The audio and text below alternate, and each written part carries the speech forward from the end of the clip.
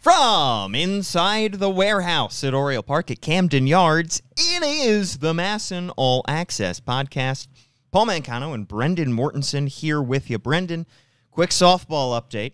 We are still totally defeated. Yep. Have not yet won a game. No, we have not. But we stormed back in an incredible rally. I believe we were down eight to one. we were. Headed into the sixth and final inning in our most recent game. Second game of a doubleheader. We're one person short. So we're playing with eight in the field, which means no right fielder. So we're already at a disadvantage.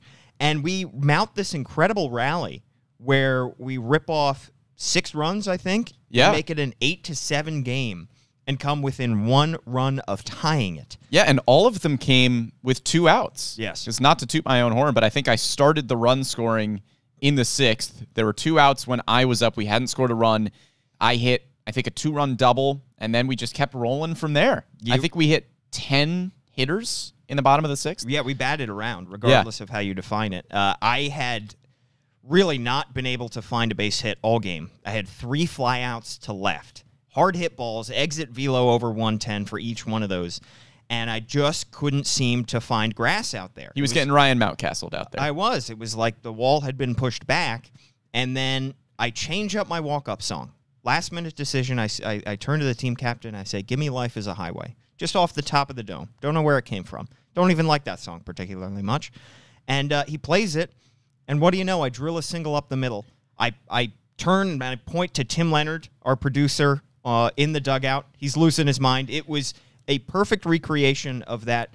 The game that won best game of the year on the MASN All Access podcast for the 2022 Orioles, where Trey Mancini walked it off against the Angels. Yeah. And he points back to the dugout screaming. It was that in a nutshell. And then, of course, Tim and I did the Call of Duty goggles to each other. It was Except electric, there were no fans and nobody cared. and it didn't win the game. And it didn't win the game. It Put us down like three at that point. but you ran down to first base and you said, maybe life is a highway. Yeah. And frankly, I want to ride it all night long. Yeah. Ooh.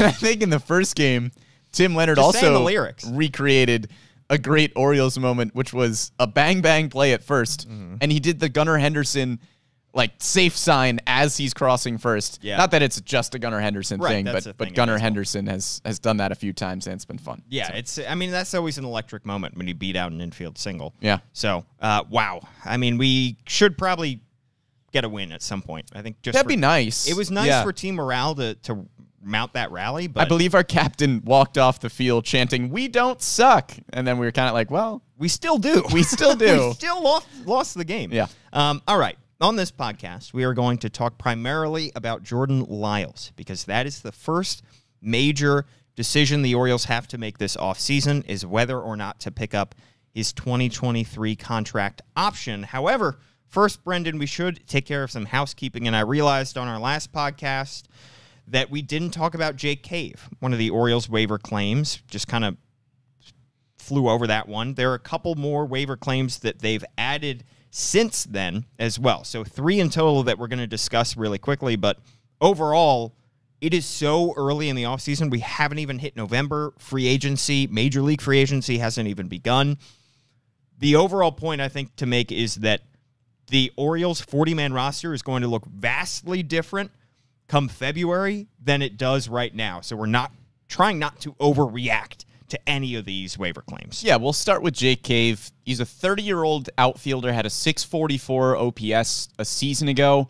I don't think he really factors into the Orioles' outfield plans all that much because, you know, barring a trade, we know who the three starting outfielders for next season are more than likely going to be.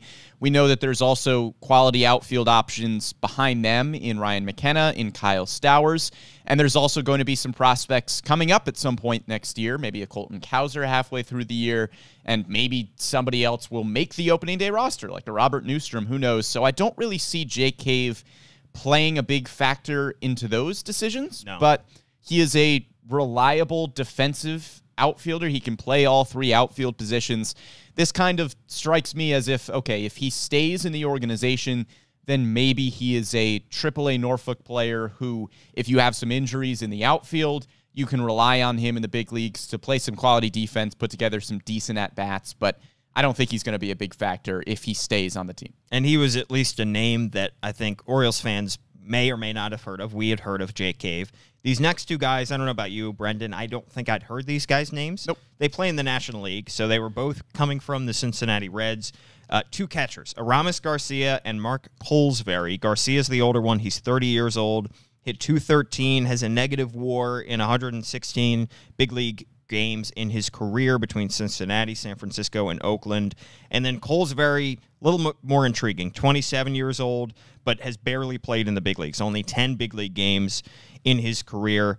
Uh, and really didn't hit very well in the minors last year. Hit just 163 in 46 minor league games. So when you see Orioles claim two catchers, that makes six catchers on their 40 man roster again. I think there was a little bit of overreaction from some portion of the fan base that was saying, are the Orioles not going to sign a catcher now? Are they going to roll into next year with four catchers or six catchers on the 40 man roster, especially after they agree to the one year contract with Anthony Bemboom? But look, I think the Orioles make these waiver claims now because they like the player. I don't think they're really caring about the position very much right now. I don't think they're saying we need to add a few catchers via waiver claim in the offseason. I think they're sitting there in October, player comes across the waiver wire and they go, I like this guy. Let's let's grab him. I like him better than Louis Head, one of the guys that they designated for assignment. I like him better than Bo Sosa. Beau Sulser. Again, the hardest name to Tongue say. twister. Hopefully he got claimed by the Pirates. Uh, so they're liking the player. They don't really care about the position right now. I think it's a it is a factor, but it's really player over position. Yeah, and again, it's entirely possible that we're not going to be talking about these guys Yeah. in a few months because, you know, they just might not be on the team. But it makes sense that the Orioles are kind of just getting rid of some bullpen arms that they really didn't need. Like Louis Head, Beau Sulser, they were two who, you know, could potentially eat innings for the Orioles in the bullpen down the stretch, but you didn't really see them factoring into the 2023 team at all. And now with claiming a few catchers, you're just increasing your options in terms of internal options before you start looking at free agency. I think the Orioles are still going to go after a free agent backup catcher, but they also just signed one today as well. Yes, Not a free agent, but a free agent. Yeah, in Bemboom. Right. So that is at least a backup backup option. I think it is putting a baseline, a floor for. We know this guy can play in the big leagues. He did it for us very briefly last year, but still, I think they are going to address the position in free agency. But Brendan, you mentioned these guys may not even make the team, and that's something that remember a couple years ago, a couple off seasons ago, the Orioles claimed Yolmer Sanchez, and then he made it through all of the winter with the team, stuck on the 40 man roster. They didn't didn't designate him for assignment until pretty much right before opening day. And we had penciled him in as the 2021 opening day second baseman, and it never came to fruition. yeah, he was drafted in the in our, our podcast edition of the All Orioles Yeah. team before the season. And that was something Michael Elias continued to mention, and we didn't heed his warning when he said, "Look, it's a waiver claim. This is not something that somebody that we're committing big dollar amounts to. We're not signing them in free agency." We did a whole podcast on Lucius Fox, who was on the roster for a week, and we were thinking maybe Lucius Fox could be a factor at shortstop in 2021. Ashton Goudeau, uh, Chris Shaw, all of these guys that we were waiver claims during the offseason and never made it to the big leagues with the Orioles. So, again, lower your expectations and, and try not to overreact to some offseason waiver claims. And I think we're even reacting less to these waiver claims than we were in the past because, like you said, Yolmer Sanchez was somebody that we penciled in as a starter. None, none of these guys that the Orioles have claimed are going to be starters. In, in fairness to us, in our in our defense, so had other members of the media. Yeah. It wasn't just us. Right. But none of these guys that the Orioles have claimed are going to be starters. We don't even really think they're going to be big factors, if factors at all, at the major league level. Yeah. All right. Well, let's talk about somebody who was a big factor for the Orioles in 2022. And if they decide to bring him back, could be a big factor in 2023. And that's Jordan Lyles. Now, Lyles signed that one year, $7 million contract with the Orioles last offseason that contained a team option for 2023, which is worth $11 million with a $1 million buyout and $500,000 bonus if traded. When he signed that deal with the Orioles or agreed to it shortly before lockout and then eventually signed it three months later, we were saying that number of $11 million seems awfully high for a guy that you're not even committing $11 million to right now. And it seemed like a failsafe for the Orioles if he goes on to have a career year and bursts out in his age 31 season, and the Orioles then have an option to pick him back up at a reasonable $11 million. But otherwise, if he gives you what his career average is, then you're probably going to move on. Right now, the $11 million is right in the medium zone between too much to hand a guy in free agency and worth it because of the production that he gave you. So it is this is almost a 50-50 to me as to whether the Orioles should pick up Lyles' $11 million option. Yeah, and looking back at his season in 2022, I think you said, you know, it, it wasn't going to be a career year more than likely for Jordan Lyles. It was a fail-safe that 11 million. Yeah. If all of a sudden he pitched out of his mind in 2022, you could bring him back next year and it would almost be a bargain. I think Jordan Lyles gave you pretty much exactly what you were expecting for $7 million. He had a 442 ERA. He was 32nd in all of baseball in innings pitched. We've talked about him throughout the season and how much value he gave the Orioles, not only as a veteran presence in a clubhouse that lost John Means in that starting rotation, but as somebody who was, as he put it, was for the boys in terms of innings pitched because he would consistently go five, six, seven innings, and he would be able to save the bullpen and save Brandon Hyde from having to bring a bullpen arm in in the fifth inning. Jordan Lyles was consistently going deep into games. He was throwing a ton of pitches, and his numbers were better last year than they were in Texas the year before. They were his probably his best numbers since the 2019 season because the previous few seasons he had been leading baseball in hits allowed, in home runs allowed, but he was able to get those numbers down a little bit. And I think he provided you exactly what you thought he would in Baltimore. 32 starts on the season. The only start he missed was the one late in the year where he had that stomach virus. Of those 32 starts, only three went shorter than four innings, and one of those was because of, a rain delay that knocked him out of the game. And his average start was five and two thirds innings. So 13 quality starts of those 32, which is tied for 47th in baseball. It's not a whole lot in terms of 13, but that's more than I think the conglomerate of Mike Baumann, of Zach Lowther, of Alexander Wells, guys that would have taken that spot otherwise would have given you. Because those guys had a much lower floor. And frankly, Lyles filled a spot that I think we were saying could have been filled by a younger guy. But those younger guys didn't step up. And they ne- ended up needing Lyles for every inning that he gave them. He saved the bullpen. He was a reliable force in that rotation, and he was every bit the veteran leader, like you said, Brendan, that they were hoping that they were getting when they signed him. His value comes not necessarily in quality of innings, but in number of innings. And while that was hugely valuable for the Orioles in 2022, will it be as valuable in 2023 for an Orioles team that is hoping to be competitive from start to finish, not just for the second half of the season. So, Paul, you mentioned some of the younger starting pitchers, and that's kind of the question that I want to start with, which is even before we get into the possibilities of a different pitcher that you would bring in in free agency. Right. Let's just talk about the internal options because I think that's a question as well. I think there are two absolute locks for the loca- for the rotation next year in Dean Kremer and Kyle Bradish. Yeah. Grayson Rodriguez, assuming there are no injuries and assuming spring training goes the way that Michael Elias and company are hoping, I think Grayson Rodriguez is pretty close to a lock for the starting rotation. I can't imagine they start him in AAA Norfolk. I think he starts the season in the bigs. Yeah. So, Assuming that, everything goes right. Like so that's three. yeah.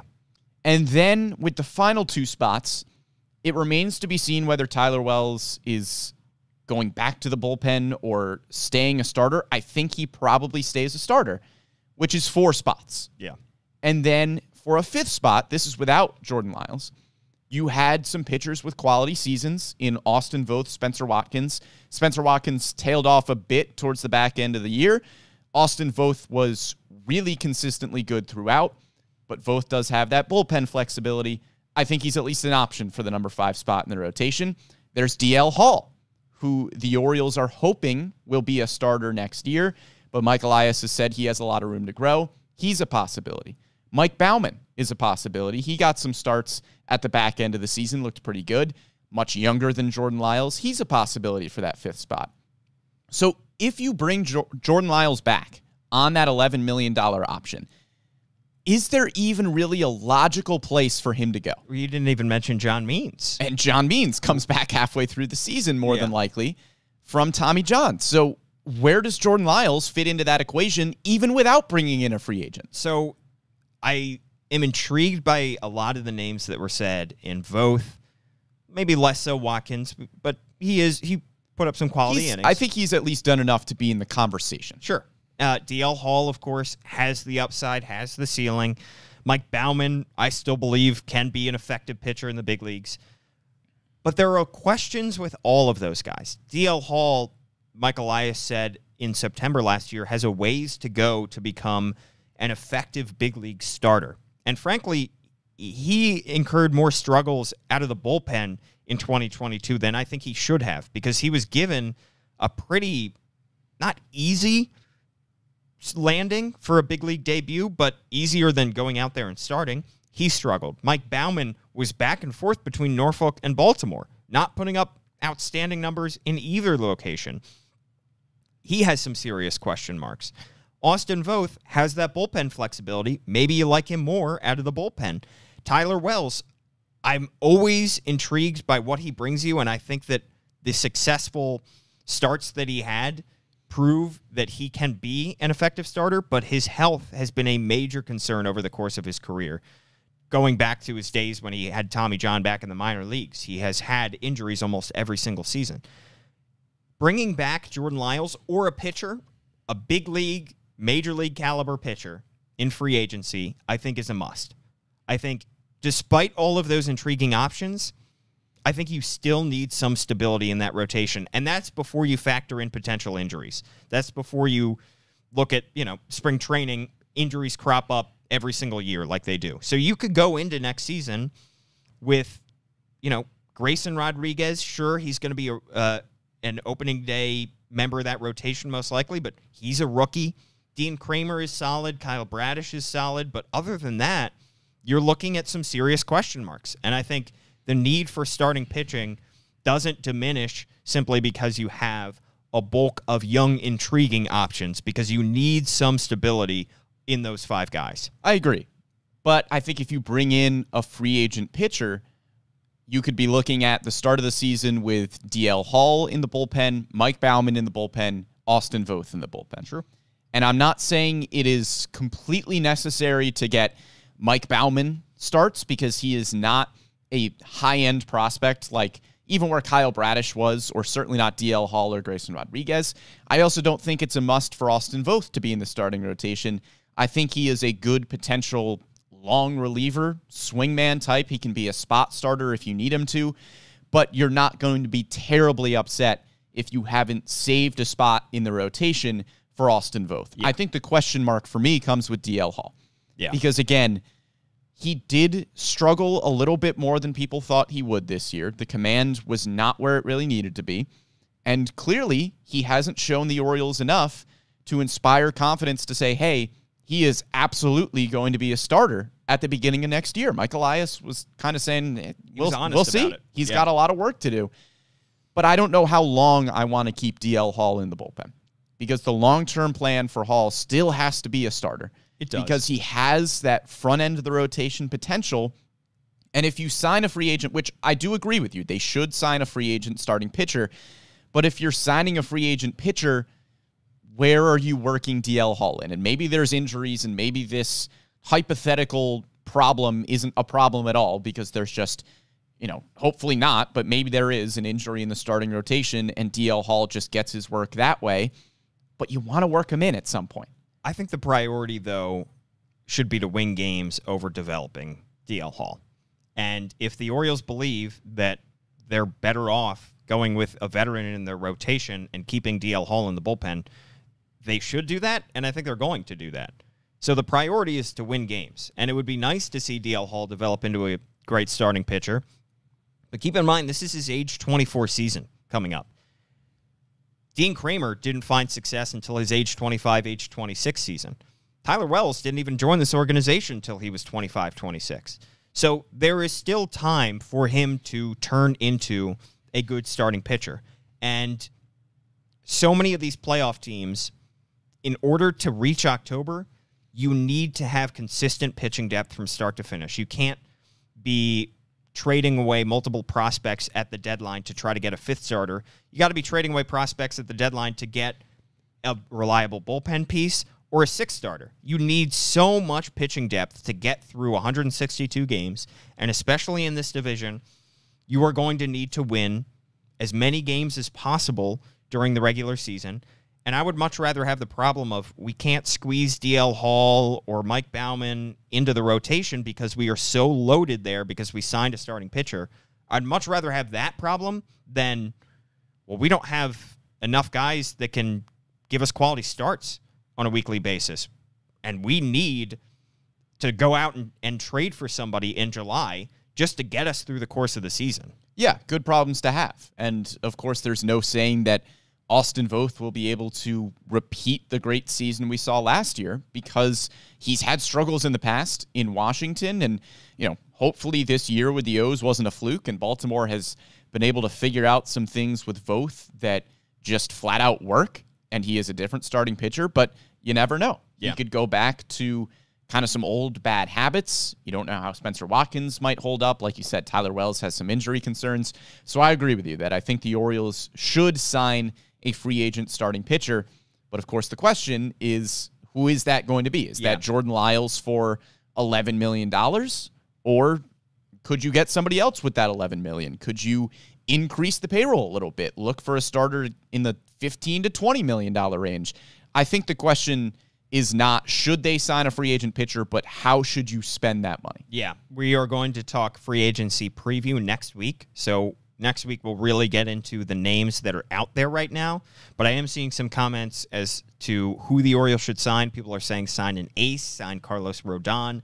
There are a couple aces that are set to hit the market. Rodon, I think, fits into that category. Uh, Justin Verlander, if he decides to not return to Houston, fits into that category. Jacob DeGrom, certainly, if he chooses free agency. Uh, Clayton Kershaw will be a free agent.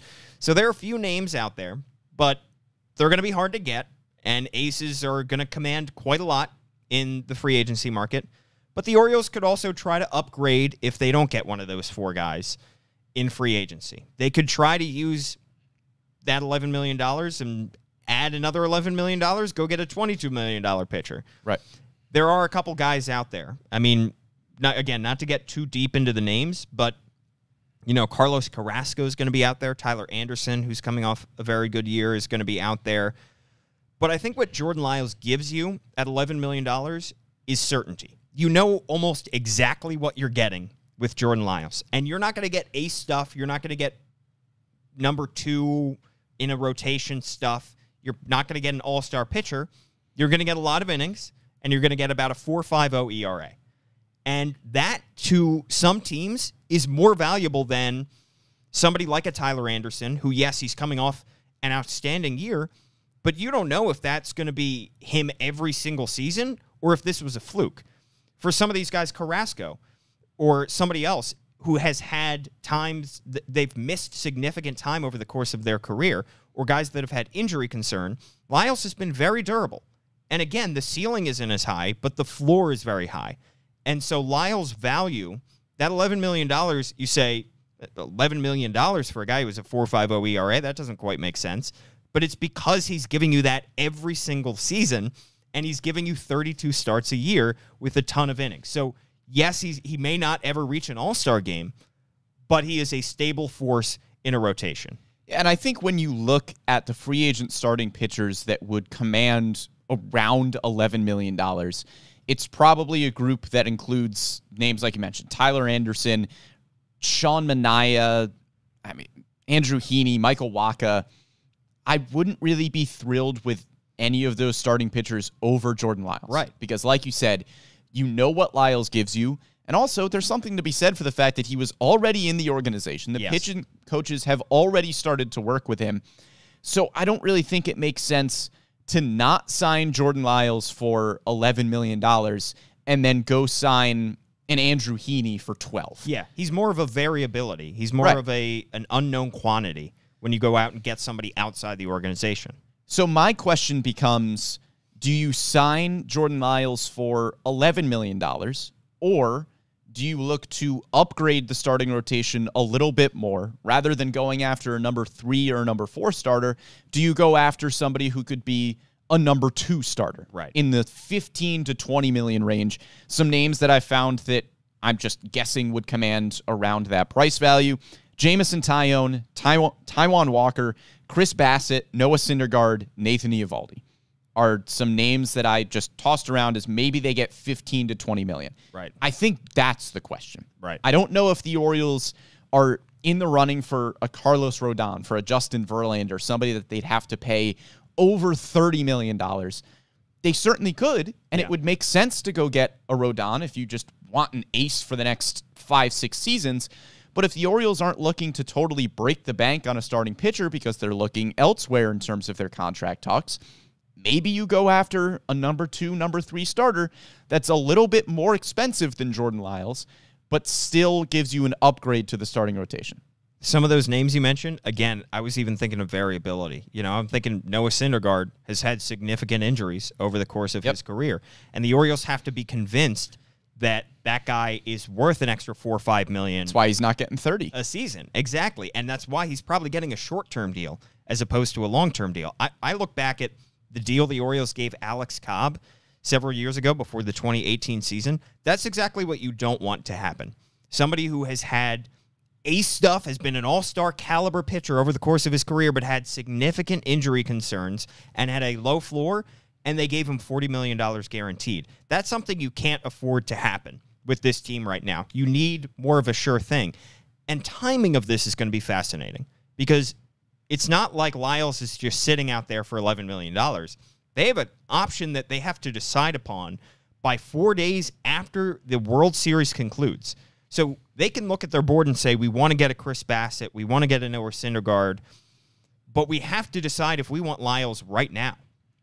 And they can't assume that they're going to get Bassitt or they're going to get Syndergaard or what were some of the other names you mentioned there? Uh, Jameson Taillon, Nathan Eovaldi. What if they get priced out of all of those guys and they they decline Lyles' option, he signs with another team, and all of those guys suddenly disappear and the market dries up. And they go, Well, we missed the boat on all of those guys. We've got to overpay for somebody now who is in the lower tier. So they have to make a decision on Lyles before they make a decision on any of these other guys. So are they going to go for the safe early option with Lyles, or are they going to wait? Or frankly, they could do both. If they really wanted to, if they really think that the rotation needs a significant upgrade, they could pick up Lyles' option and then go ahead and look at some free agents as well and say, we can go get an ace, we can go get a second caliber, second tier pitcher. And you know what? That may slow the development of a DL Hall or somebody else in our rotation, but we just decided we need starting pitching this badly to compete in this division. I think it's an interesting question because I really do like Jordan Lyles. And on this podcast, I've been a huge proponent of what Lyles has given the Orioles in 2022. As we mentioned, he has been massive for the bullpen. He has been a great veteran presence. He gives you a lot of good qualities. However, the Orioles are ahead of schedule. Yeah. This, when the Orioles signed Jordan Lyles, they were not expecting this $11 million option to go to a pitcher who you potentially need to help make you make a quality playoff push. And when I look at Jordan Lyles, you know what he gives you. He's going to give you around a 450 ERA. He's going to throw a ton of innings, and that has value. But is it enough to say, hey, I'd start Jordan Lyles in game three of a five game series in the Yeah. playoffs? You have to seriously start looking at that if you're the Baltimore Orioles. If you're looking at a potential wild card series and saying, we need to throw three pitchers and they need to shove in a wild card series, is Jordan Lyles one of your three? Or Do you again spend a little bit more money, maybe 15 to 20 million, get a Taillon, a Syndergaard, somebody of that tier that you're more comfortable with throwing in game 2 or game 3? You also though could lean on your youth and Yeah. say if we enter the playoffs and we're I love that we're thinking this far ahead, is- but this is great, This is now a legitimate possibility for this Right. team. I think that you could look ahead and say if Grayson Rodriguez is who we think he is as a rookie, there's a playoff starter. Mm-hmm. Sure. If John Means comes back by July and is the guy that he was prior to Tommy John, that's a playoff starter. Yep. If Dean Kremer, if his 2022 season wasn't a fluke, that's a playoff starter. So I think you could have three potential guys right there. I mean, Kyle Bradish at the back Kyle end of the season. Kyle Bradish has a higher ceiling than Kramer, could have a higher ceiling than Means potentially with how much talent that he has. You could talk about four guys there. However, again, question marks. There Yep. are question there are downsides to all four of these guys. Means could not be the pitcher that he was prior to injury. He could suffer a setback. Could take a little bit longer for him to build up his workload. Grayson Rodriguez, we know that we've seen rookie starters struggle in this league. What if he has a 5 ERA come September and he shows flashes, but he looks every bit 22, 23 years old that, that other starters have looked? So there are no certainties right now in this rotation. Very few certainties, I'd say. So, do you really want to to roll the dice on the youth that you have right now and say we think that we can get to the postseason and maybe win a postseason series with the guys that we already have? And then you know what? We have Lyles as a backup. If one of those guys doesn't work out, we can start Jordan Lyles in Game Three and be okay with it. Not feel great, but be okay with it. But again, if one of those guys doesn't work out, start Jameson Taillon in game three. Right. You could start Noah Syndergaard in game three. If you're confident you can sign them. Right. It's a hard question because Yeah. I think if there is a two or three or four million dollar gap between Jordan Lyles, I'm going to keep saying Syndergaard. That's the one name out of the group Sure. that we're just going to use as the example here. Sure. if you can sign Jordan Lyles for $11 million, or you can sign Noah Syndergaard to a two year, $30 million deal, and there's only a $4 million difference in that annual value, I say go Syndergaard. But as you said, it is safer to sign Jordan Lyles to 11 million. And then, as you said, what if he gets into free agency? There's a bidding war for these guys, and all of a sudden, Syndergaard goes for 22 million rather than 15. Yeah. That's a huge difference. Right. Also, it's hard to say. And again, Syndergaard is a good example because he shows he is the highest risk, highest reward, Right. I think, option on the market. He missed what two full seasons?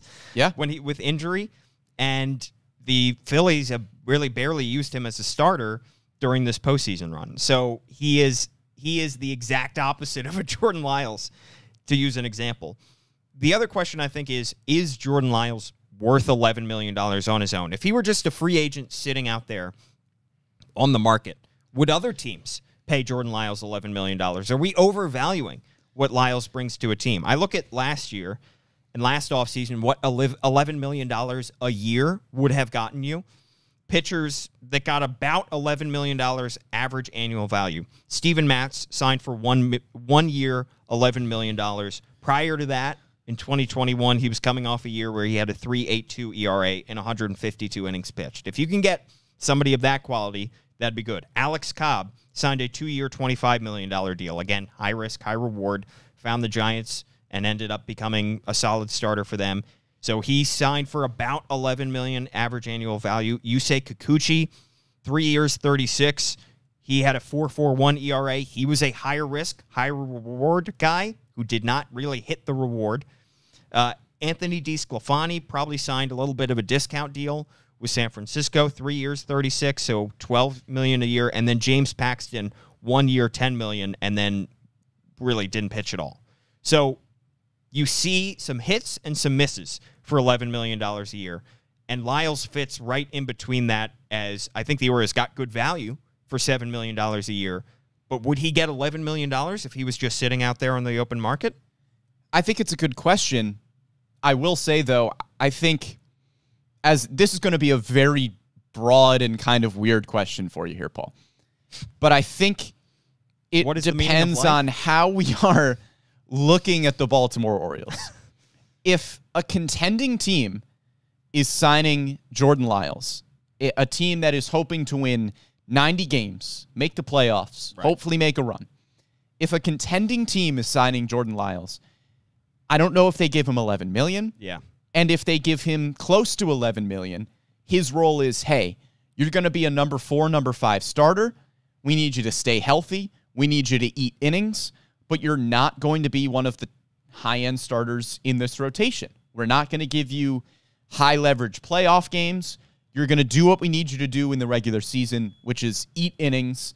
And if we get to the playoffs, probably won't start games. Maybe you'll come out of the bullpen, but we're not signing you to be a number two, number three. So, how are we viewing the Baltimore Orioles here in this offseason? I think is the question. Are we viewing them as a team that is going to be, again, hovering around 500, winning 80, 85 games? Are we viewing them as a team that is trying to make a push, trying to win 90 plus games, make the playoffs, make a run?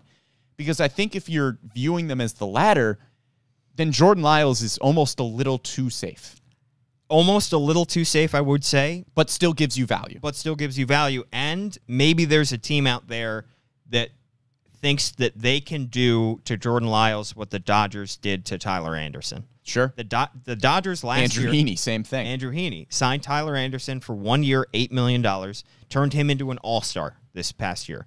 273 ERA, and literally almost the exact terms for Jordan Lyles' deal. I don't think uh, Anderson had any options in his contract, but it was almost the same for the first year. Seven million for Lyles, eight million for Anderson.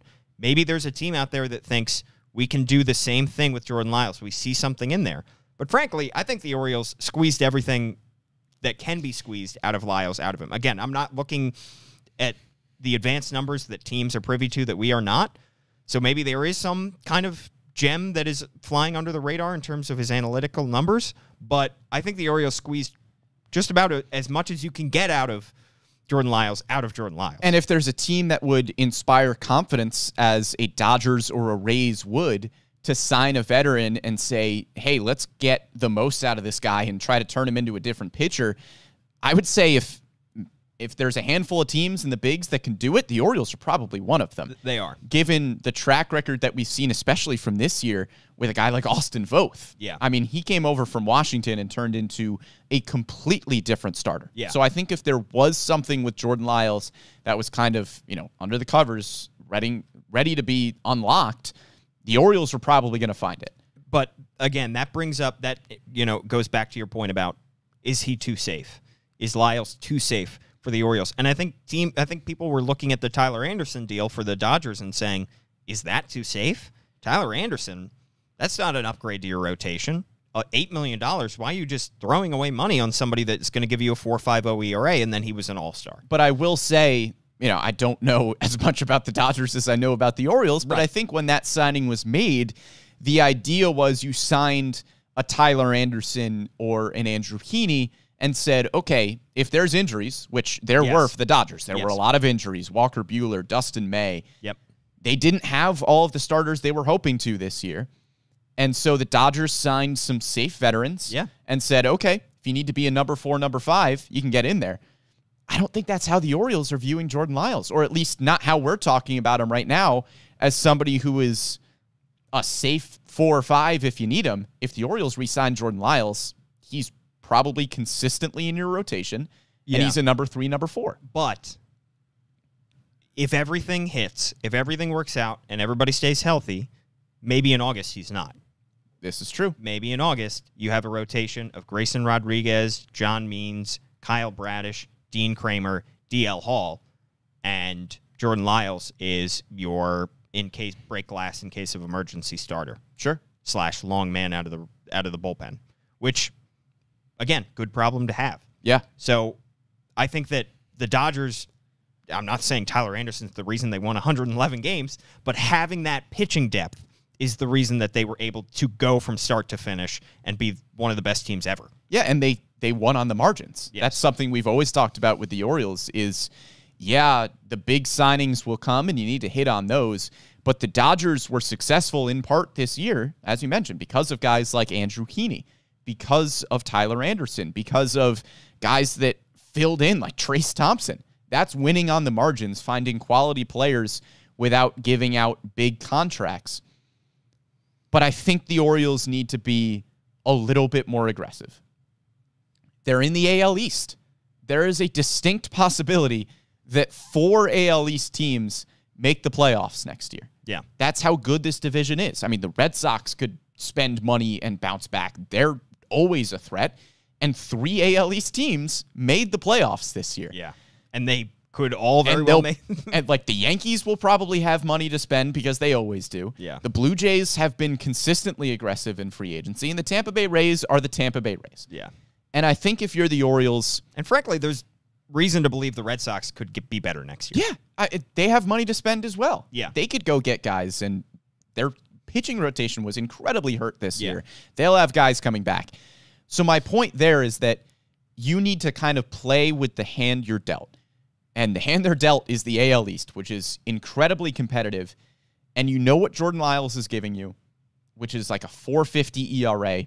Not that I'm really looking at pitcher wins, but he was 12 and 11 this year. I know it's not a pitcher stat, but that's probably what he's going to give you around a 500 record in games that he starts. Yeah.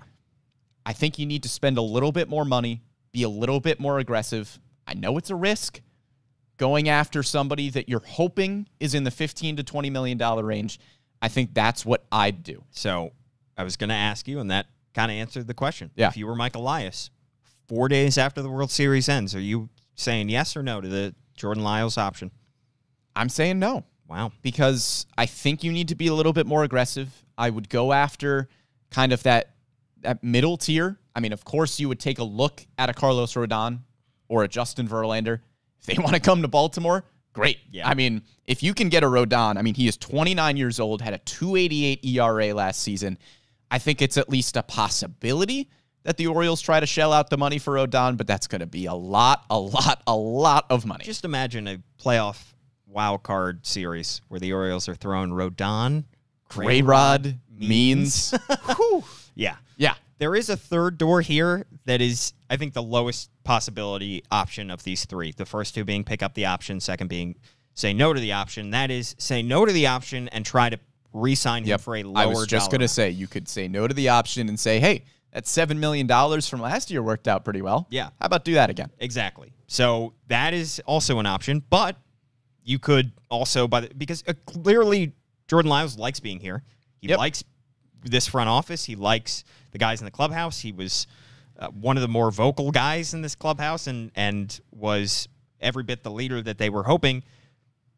But you also run the risk of declining that option and said, "Hey, we'd love to have you back." And he says, "Ah, I think the uh, A's are going to give me 14 a year." And he walks. Yeah. So that is a possibility if you go that route. I think the way I'm looking at it right now is that the Orioles are ahead of schedule. Also, the A's aren't going to give Jordan. they won't. Maybe the Angels. Yeah, maybe. the Orioles need to have, in order to have a playoff caliber season in 2023, you need to have a playoff caliber offseason. yeah. And Jordan Lyles is a safe option. He is a good option. None of this take of mine here is anything against Jordan Lyles because, as we said, we know what he gives you, but what he gives you is a lot of value. So it's not a knock on Lyles, but I think you need to have a playoff caliber offseason, which is be a little bit more aggressive. Go after an ace if you can. Go after a number two or number three starter. Jordan Lyles, it's it's going to be a 450 ERA, which is good, but it's not great. Here's the thing, and this is not my money. Yeah. Here's so you know we're talking about all these. You know, would you pay so and so X amount? And again, this is not our money that we're paying here, so we're just throwing out fake dollars. And we're also guesstimating on these yes, we have dollar no amounts. Idea. I mean, Noah Syndergaard could get $25 million a year. We have Uh, no idea. We're guessing. here's what I would do. I would pick up the option because I would feel a lot safer heading into free agency with somebody in house, feeling like you don't have to overpay for a second tier or third tier starting pitcher on the free agent market. You know you're getting a good veteran, you know you're having a good leader, and if it gets to the point where your rotation is overstuffed in July, guess what? You can trade him. or you can relegate him to the bullpen. You can solve that problem later. I would pick up the option and I would still look for free agents. I would still survey the market and say, maybe there's a higher risk guy that we can go out and sign, like a Noah Syndergaard. And we have Jordan Lyles already in this rotation. So if Syndergaard doesn't work out, if he gets hurt, or if we sign a higher risk guy uh, in free agency and he really struggles, we have a little bit more safety. So I would try to do both. I would try to have my cake and eat it too. I would try to pick up Jordan Lyles and still sign a higher risk second tier free agent. Probably won't have money for Lyles and Rodon and maybe a bat, but maybe you have money for Lyles and Syndergaard and a bat. So that's that's what I would do. What do you think the Orioles will do? I think they'll pick up the option. I wow. think, as you mentioned, he is a safe in house possibility for the starting rotation. And honestly, I think if they don't pick up the option, I think that third door possibility that you mentioned doesn't have a low percent chance of happening. I think it's pretty plausible that the Orioles would say, "Hey, we're not going to give you 11 million. We think that 7 million dollar price tag was right around where you're going to get in free agency elsewhere. Yeah. How about you just come get it with us because we loved having you here. Jordan Lyles, as you mentioned, loved being in Baltimore. He said he'd like to come back. So maybe the Orioles just say, hey, we'll give you seven and a half million, eight million. Come back right around that number.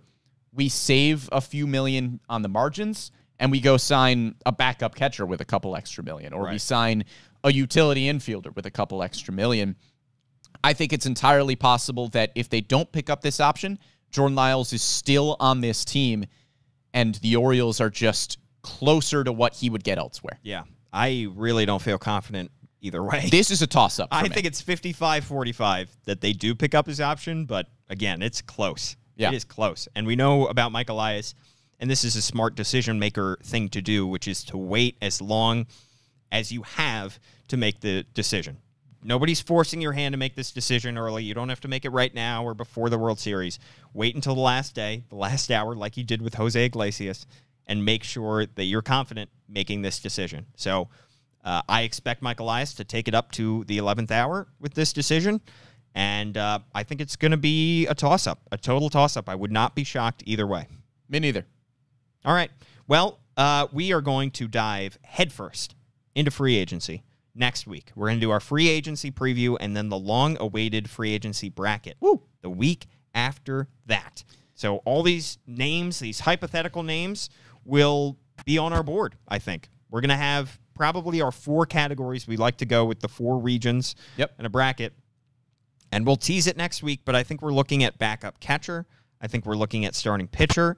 I think we're looking at other position players, as in first base, outfield, DH, not a position player, but yep, you know, a bat, uh, mostly bat first, and then we're looking at middle infielder as the four regions to determine who the Orioles might sign. And I will say we do joke around with our guesses a lot on the MASN All Access podcast, but uh, to pump our own tires a little bit here, Paul, we did correctly predict two free agency signings. They were we had our final four and two of the names in our final four yep. were players that the Orioles ended up signing in Robinson Chirinos and Matt Harvey. Robinson Chirinos made it to the finals, didn't win the finals, even though I would have liked him to.